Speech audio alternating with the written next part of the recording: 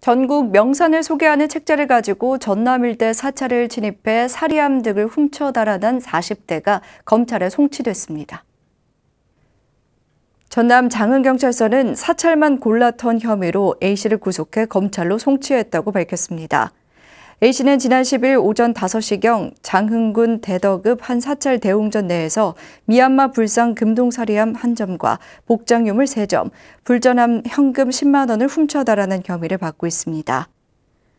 A씨는 지난 7일에도 해남군 송지면 한 사찰에 진입해 현금 등을 훔친 혐의도 받고 있으며 경찰은 도난당한 사리함 등을 회수해 사찰에 돌려줬습니다.